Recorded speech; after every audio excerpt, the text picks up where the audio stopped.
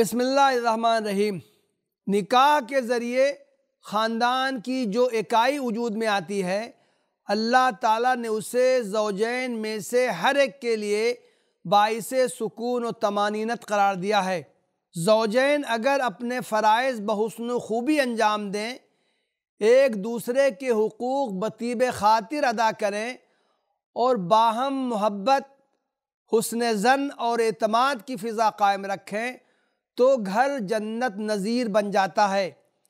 लेकिन अगर वो अपने फ़रज़ से गफलत बरतें, एक दूसरे के हकूक़ से बेपरवाह हों और उनके बाहमी ताल्लुक़ात की बुनियाद सूए जन शक शुबा और बेतमादी पर हो तो उनका इजदवाजी सुकून गारत हो जाता है और घर जहन्नम का नमूना पेश करने लगता है।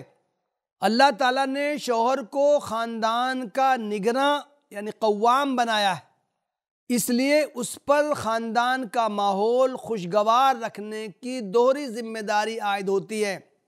खुतब हजतुलविदा में अल्लाह के रसूल वसल्लम ने जौजैन में से हर एक के हकूक़ व फ़रज़ तफसील से बयान किए हैं।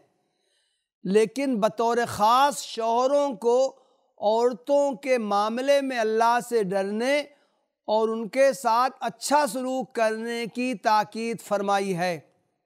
औरत मखसूस मिजाज की हामिल होती है। ये मिजाज उसे बाज़ मसाले की बिना पर फितरत की तरफ़ से वदियत किया गया है। शौहर की ये बड़ी नादानी होगी कि उस पर हाकिमाना रोब जमाए और उसे बजबर अपने मिजाज का पाबंद बनाने की कोशिश करे। औरत के साथ मामला उसके फितरी खसाइस की रियायत करते हुए करना चाहिए। हदीस में इसी बात को एक बलीग तशबीह के ज़रिए बयान किया गया है। अल्लाह के रसूल सल्लल्लाहु अलैहि वसल्लम ने फरमाया इन मरअत खुलक़त मिन ज़रिन लन तस्तकीम लका अला तरीक़तिन। फ़ैन इस्तम तबहा इस्तम तबहा व बेहा एवज। व इन जहबत तुकीमहा कसरतहा व कसरहा तलाक़हा ये सही बुखारी है सही मुस्लिम। यानी औरत पसली की मानंद पैदा की गई है, जो तुम्हारे लिए किसी सूरत में भी सीधी नहीं हो सकती। अगर तुम उसकी कजी बरकरार रखते हुए उससे फ़ायदा उठाना चाहोगे तो फ़ायदा उठा सकोगे, और अगर उसे सीधा करने लगोगे तो उसे तोड़ दोगे उसका तोड़ना तलाक है। बुखारी और मुस्लिम की एक दूसरी रवायत में इस हदीस के शुरू और आखिर में दोनों जगह हज़रत वसल्लम ने इस्तौसु बिन निसा फरमाया है, यानी औरतों के साथ अच्छा सलूक करो। औरत को टेढ़ी पसली से तशबी देने का मतलब ये नहीं कि उसके ज़रिए औरत के किसी नुक्स और ऐब की जानब इशारा किया गया है। बल्कि इससे मुराद ये है कि जिस तरह पसली को उसकी फितरी बनावट पर बाकी रखते हुए ही उससे फ़ायदा उठाया जा सकता है, इसी तरह औरत के फितरी खसाइस को मलहूज रखते हुए ही उसके साथ खुशगवार ताल्लुक़ कायम रखे जा सकते हैं। हर शख्स में कुछ खूबियाँ होती हैं और कुछ कमज़ोरियाँ। शौहर और बीवी में से कोई भी इससे मुबर्रा नहीं। बीवी की कोई कमज़ोरी शौहर पर आया हो जाए या उसकी कोई बात या हरकत उसे नागवार गुजरे तो बीवी को नज़रों से गिरा देना, उसे सख्त सुस्त कहना, उसके किरदार पर शक करना और दूसरों से उसकी कमज़ोरी बयान करना अच्छी बात नहीं है। अल्लाह के रसूल वसल्लम ने इससे मना फरमाया है। आपका इरशाद है, ला यफरुक मोमिन मोमिनतन, इन करहा मिनहा खुलकन, रजिया मिनहा आखर। ये सही मुस्लिम की हदीस है, यानी कोई मोमिन शौहर अपनी मोमिन बीवी से नफ़रत न करे, अगर उसकी कोई एक आदत उसे नागवार हो तो उसकी कोई दूसरी खसलत उसे ज़रूर पसंद होगी। अहद नबी का वाक़ है, एक शख्स ने खिदमत नबी में हाजिर होकर अपनी बीवी की शिकायत की। उसने कहा, मेरी बीवी किसी छूने वाले का हाथ नहीं झटकती। हज़रत वसल्लम ने फरमाया, उसे तलाक दे दो। उस शख्स ने कहा मैं उसकी जुदाई बर्दाश्त नहीं कर सकता। दूसरी रवायत में है कि उसने कहा, वो मुझे बहुत महबूब है। हज़रत वसल्लम ने फरमाया तो उसे रोके रखो। दूसरी रवायत में है कि आप वसल्लम ने फरमाया तो उससे लुत्फानंदोज होते रहो। ये हदीस सुनन नसाई में आई। बादशाह हदीस ने, इस जुमले यानी ला तमनो यदा लामिसिन, वो किसी छूने वाले का हाथ नहीं झटकती। इस जुमले को जिना से किनाया माना है। लेकिन ये बात काबिल कबूल नहीं मालूम होती, इसलिए कि रसुल्ला वसल्लम से तो नहीं की जा सकती कि आप किसी शख्स को किसी जानिया औरत से रिश्ता इस्तवार रखने का मशवरा देंगे। दर हकीकत, इस हदीस में औरत के इसी रवैये का बयान है जिसकी शिकायत ऊपर के सवाल में की गई है।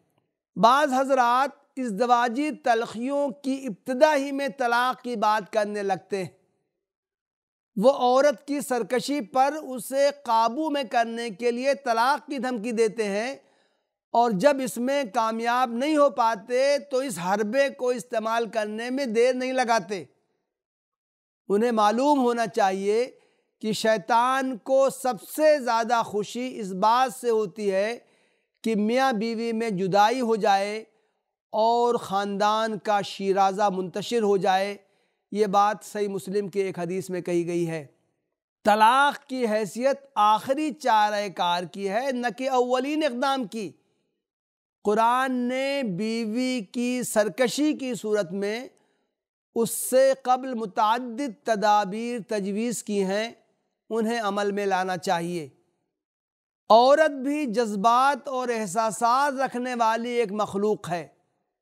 ज़रूरी है कि मर्द उसके जज्बात, ख्वाहिशात और मैलानात के सिलसिले में हसास हो। वो उसकी दिलजोई करे, उसके साथ फ़रहत व और खुशतबी से पेश आए। उसकी जायज़ ख्वाहिशात पूरी करे, उसकी बातों को तवज्जो से सुने। उसके शिकवे शिकायत का इजाला करने की कोशिश करे। इसके साथ घर में और घर से बाहर भी कुछ वक्त गुजारें। उसके सामने उसके रिश्तेदारों का तस्करा, एहतराम और मोहब्बत से करे। उसे तोहफे तहफ़ ला कर दे। उसके छोटे बड़े कामों, मसलन खाना पकाना, सीना, परोना वगैरह की तारीफ़ करे। उससे न सिर्फ़ मोहब्बत करे, बल्कि वक्ता फ़ौक्ता उसका इजहार भी करता रहे। इन तदाबीर के ज़रिए बीवी का दिल जीता जा सकता है और इस दवाजी ज़िंदगी को खुशगवार बनाया जा सकता है। आखिर में अपनी बहनों से भी ये कहना चाहूँगा कि जहाँ उनके शोहरों पर उनके कुछ हकूक़ हैं, वहीं शोहरों के भी उन पर कुछ हकूक़ आयद होते हैं। अल्लाह और उसके रसूल सल्लल्लाहु अलैहि वसल्लम के नज़दीक महबूब और नेक औरत वो है जो खुशदिली के साथ शोहर के हकूक़ अदा करे। एक हदीस में है कि अल्लाह के रसूल वसल्लम से किसी ने दरियाफ़त किया, बेहतरीन औरत कौन है? आप वसल्लम ने फरमाया, अल्लती तसुर्रहू इज़ा नज़रा व तुती इज़ा अमरा। वला तुखालिफ़ू फ़ीमा यकर फ़ी नफ्सिया व माली। ये मुसरत अहमद की हदीस है। वो औरत जिसका शौहर उसे देखे तो खुश हो जाए, उसे किसी चीज़ का हुक्म दे तो उसे बजा लाए, और उसकी ज़ात अपने माल के बारे में जिस चीज़ को नापसंद करता हो, उसका इरतकब न करे। वाखरुदावाना अनिलहमदिल्ला रबालमीन